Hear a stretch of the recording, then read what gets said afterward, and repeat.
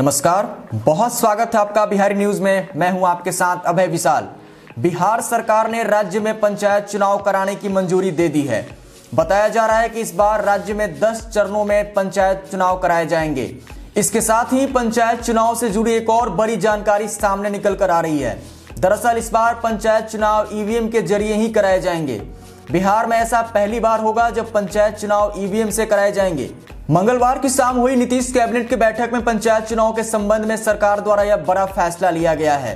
दरअसल चुनाव आयोग की मंजूरी नहीं मिलने के कारण बिहार में पंचायत चुनाव का मामला लटका पड़ा था।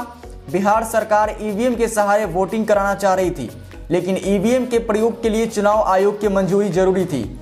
चुनाव आयोग ने बिहार के पंचायत चुनाव में ईवीएम के प्रयोग की मंजूरी नहीं दी थी। इसके खिलाफ राज्य निर्वाचन आयोग ने कोर्ट का रुख किया था। आपको बता दें कि मंगलवार की शाम हुई कैबिनेट की बैठक में ईवीएम के ज़रिए ही पंचायत चुनाव कराने का फैसला लिया गया है। सरकार पंचायत चुनाव के लिए नब्बे हज़ार ईवीएम खरीदेगी। राज्य कैबिनेट ने पंचायत चुनाव के लिए 122 करोड़ रुपए खर्च करने की मंजूरी दे दी है। सूबे में 10 चरणों में पंचायत चुनाव होगा। इसमें वार्ड सदस्य, पंच, सरपंच मुखिया, पंचायत समिति सदस्य और जिला परिषद सदस्यों को चुना जाएगा। वहीं आरक्षण प्रणाली में कोई बदलाव नहीं होगा। हालाँकि बिहार में बड़े पैमानों पर पंचायतों का पुनर्गठन भी हुआ है। कई पंचायतों को नगर निकायों में शामिल कर लिया गया है। लेकिन सरकार ने इस बार भी पंचायतों में आरक्षण की पुरानी व्यवस्था को ही लागू करने पर फैसला लिया है। यानी जो सीट जैसे पिछली बार आरक्षित थी, वही सीट इस बार भी पंचायत चुनाव में आरक्षित रहेगी। गौरतलब है कि 300 ग्राम पंचायतें पूरी तरह नगर निकाय का हिस्सा बन चुकी हैं। वहीं कई ग्राम पंचायतों का कुछ ही हिस्सा नगर निकाय में शामिल हुआ है। ऐसे करीब 200 ग्राम पंचायतों का पुनर्गठन किया जा रहा है। इसकी कार्रवाई जिलों में चल रही है। मिली जानकारी के मुताबिक ग्राम पंचायतों के पुनर्गठन के बाद भी उनका आरक्षण में कोई बदलाव नहीं होगा।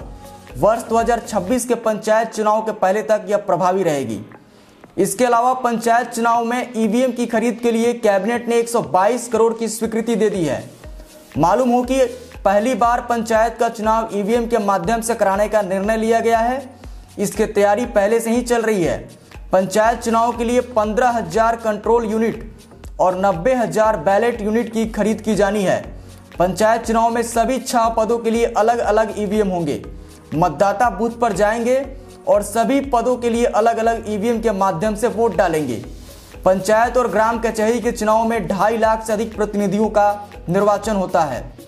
प्राप्त जानकारी के अनुसार चुनाव की अधिसूचना कभी भी जारी हो सकती है। वहीं राज्य निर्वाचन आयोग ने पंचायत चुनाव में सभी पदों पर नामांकन के लिए शुल्क भी तय कर दिया है।